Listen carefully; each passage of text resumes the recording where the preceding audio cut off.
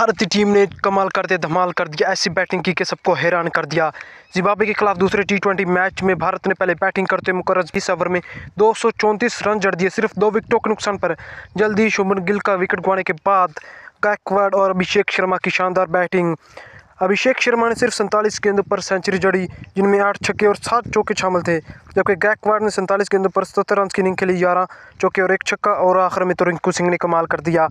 बाईस गेंदों पर अड़तालीस रन की शानदार इनिंग्स पाँच छक्के और दो चौके शामिल थे। क्या जिम्बाब्वे दो सौ चौंतीस रन चेस कर पाएगा या नहीं, देखना होगा। ये बहुत ही बड़ा मुकाबला होने वाला है, क्योंकि भारतीय टीम पहला मैच हार गई थी और इन पर तनकीद हो रही थी। लेकिन देखना होगा अब कैसे कम बैक किया कमाल कर दिया सबको सबको बता दिया कि हम भी जज्बा रखते हैं।